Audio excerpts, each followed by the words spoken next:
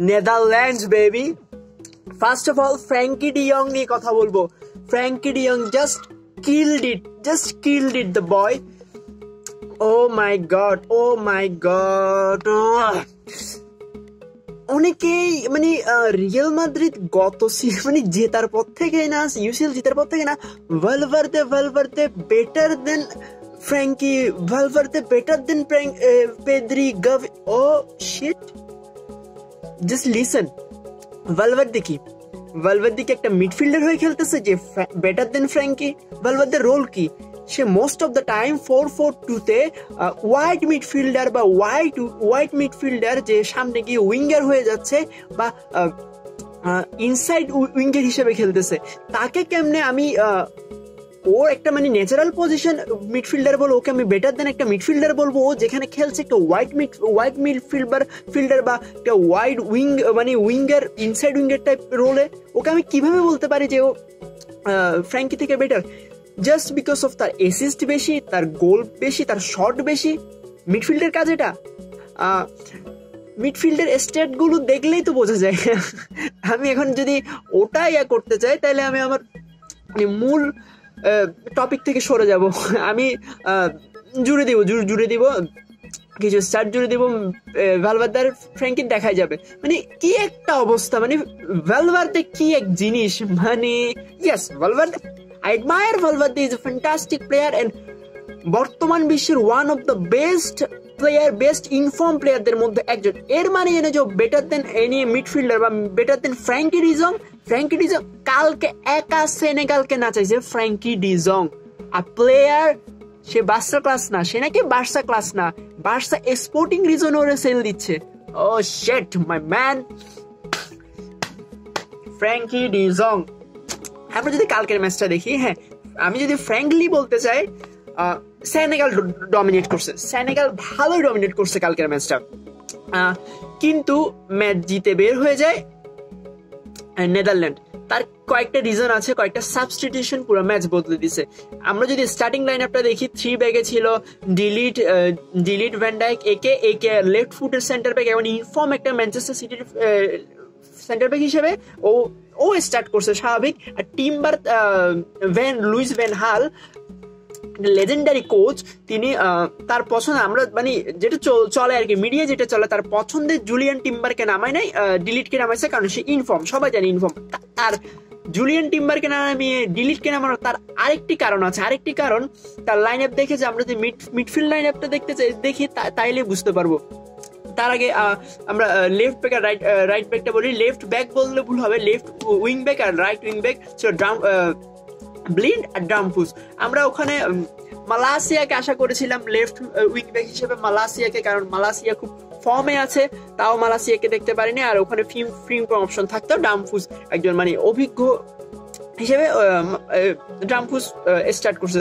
এইটা নিয়ে কোনো অভিযোগ ছিল না। কিন্তু মিড সেট আপ যদি দেখি, আমরা বার্গিউসকে দেখি, ফ্র্যাঙ্কি ডিজং এর সাথে। সবাই আশা করেছিল কোপেন্স কোপ, কোম বলে গেছে। কোপেমার্সরা ওকে ওকে আশা করেছিল। ওকে ফ্র্যাঙ্কি, ফ্র্যাঙ্কির সাথে আশা করেছিল আর উপর ছিল ক্যাম হিসেবে গাপকো এটাও কিন্তু একটা বড় সারপ্রাইজ ছিল, ক্যাম হিসেবে গাপকো কারণ অনেকে গাপকোকে স্ট্রাইকার হিসেবে দেখেছিল আর উপরে উপরে ছিল ইয়ানসন আর ভার্গুস না নামগুলো আমার মানে ভিভি দিয়ে নামগুলো মনে আসছে না। যাই হোক, এরা দুজন ছিল প্রথম থেকেই একটা সমস্যা দেখা যাচ্ছিল। সেনেগাল প্রচণ্ড ডমিনেট করে খেলছিল প্রচণ্ড ডমিনেট এবং মিডফিল্ড ব্যাটেল মিডফিল্ড ব্যাটেলেও সেনেগাল জিতে গেছে। শুধু একা ফ্র্যাঙ্কি ডিজং পুরো মাঠ কভার দিয়েছে নেদারল্যান্ডের হয়ে। যে ভার্গিউস, ভার্গিউসকে ভালোভাবে খুলে দিয়েছে সেনেগাল। এই ভার্গিউসকে কভার দেওয়ার জন্য ডিলিটকে উপরে আসতে হচ্ছিল। ভার্গিউসের প্লেসগুলো কভার দিতে হচ্ছিল, কারণ ডিলিট বল পায় খুব ভালো এবং ওয়ার্ল্ডের one of the best defender in with the ball and fit van Dijk মাঝে মাঝে কিছু ছোটখাটো ভুল থাকে। ওগুলো ওগুলো এখনও সে শোধরাতে পারতেছে না। সাউথ আম্পটনে থাকা অবস্থায় ছিল মানে ওয়ার্ল্ড ক্লাস একটা ডিফেন্ডার ওয়ার্ল্ড ক্লাস সেভ দেয় কিন্তু এমন এমন কিছু বাচ্চা সুলভ ভুল করবে যেগুলো একদম চোখে লেগে থাকবে। ডিলিট যখন উপরে চলে যাচ্ছে, তখন ফোর ব্যাক লাইন তৈরি হচ্ছিল। ব্লিন্ড উপর থেকে নিচে নেমে আসতেছিল, তারপর ওইদিকে ড্রামফুস নিচে আসতেছিল। কারণ সেনেগাল প্রচণ্ড এটাকে খেলতেছিল। সেনেগাল কিন্তু আমাদের মানে নাই, আমরা বসে খেলব এরকম না। আর Koulibaly oh my God man Gana Gueye Gana Gueye versus Frenkie de Jong একটা ফাইট ছিল but but but but Frenkie de Jong কালকে একটা অন্য জগতে ছিল। আর আমরা যদি সাবের মানে বলতে গেলে সেনেগাল ডমিনেট করে গেছে। কিন্তু সাবের পরেরগুলো দেখতে যাই, সাবের পরে আসলে মূল ম্যাচটা এসেছে, যেটা লুইস ব্যান, ভ্যান হালকে অনেকে বলছেন, তার স্টার্টিং এ ভুল ছিল। তিনি গাপকোকে উপরে খেলিয়ে জাভে সিমন্সকে খেলাতে পারতেন না, অনেক কিছু বলেছেন। তারপর, আসলে ম্যাম্পিয়াস ডিপাই নামার পর থেকে খেলার মোড় ঘুরে যায়। ম্যাম্পিয়াস ডিপাই এসে আসার ফলে যে এক্সপেস স্পেসগুলো তৈরি করে দিচ্ছিল অন্যান্য মেম্বারদের জন্য, অন্যান্য টিমমেটদের জন্য সেটা একটা বড় বড় একটা প্রেজেন্স যেমন আমরা দেখি মেসি আসলে মেসি যে মুভমেন্টগুলো, মেসির মুভমেন্টের জন্য যে অপোনেন্টের দুই তিনজন প্লেয়ার বা দুই তিনজন ডিফেন্ডার এঙ্গেজড হয়ে যায়, ঠিক সেই কাজটাই করছিল ম্যাম্পিস ডিপাই সাবস্টিটিউশনের পর। এরপর আমরা কোপেনমিউসকে দেখি সাবস্টিটিউশনে বার্গিউসের জায়গায় এসেছে এবং তখনও মিড মিডের একটু ডমিনেশন আসার ফ্র্যাঙ্কি ডিজং আবার আমি আজকে Frenkie de Jong Frenkie de Jong Frenkie de Jong এছাড়াও যদি আমরা আরও আমরা দুটো যে দুটো গোল হয়েছিল, দুটো গোল নিয়ে কথা বলি, প্রথম গোলটা ছিল গাক্কর fantastic fantastic assist by Frenkie de Jong Gakpo যে ওই জায়গাটায় লাফিয়ে উঠবে just just just I hate Cristiano Ronaldo ওটা আমার ক্রিস্টিয়ানো রোনালদোর কথা মনে করিয়ে দিয়েছিল।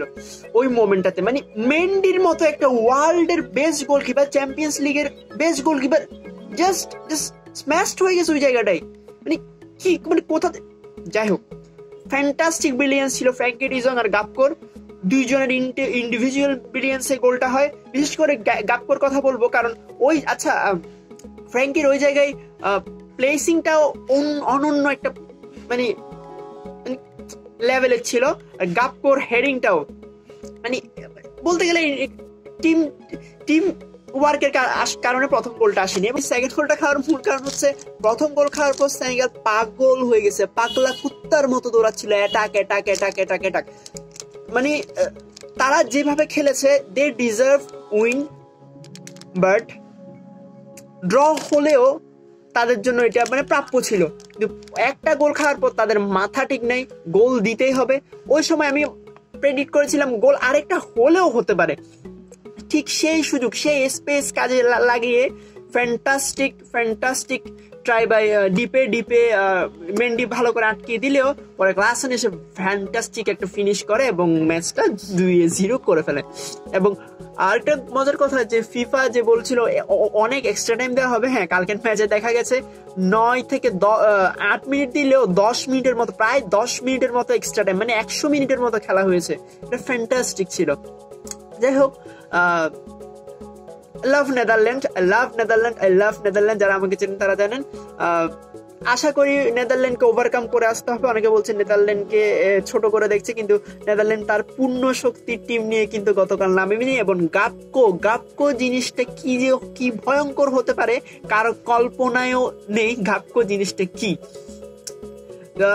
নেদারল্যান্ড আমি তো দেখছি কোয়ার্টার ফাইনালে যাচ্ছে, আর্জেন্টিনার সাথে দেখা হচ্ছে, এবং আর্জেন্টিনা, যদি ওই ওই মোমেন্টে আর্জেন্টিনাকে যদি নেদারল্যান্ড হারায় তাহলে আমি নেদারল্যান্ডকে বোধ হয় বোধ হয় নেদারল্যান্ডকে আমি ফাইনালে দেখছি, এবং কাপ জিতলেও এবার আমি অবাক হব না। এবার আর্জেন্টিনাকে যে হারিয়ে ফাইনাল উঠবে তারাই ফাইনালে কাপ জিতবে, আমার যতদূর মনে হচ্ছে। মানে একটা অন্ধবিশ্বাস টাইপ আর কি। আচ্ছা ঠিক আছে, বিদায় নিলাম কুবিস্তা থেকে আমি সন্নিবেশ।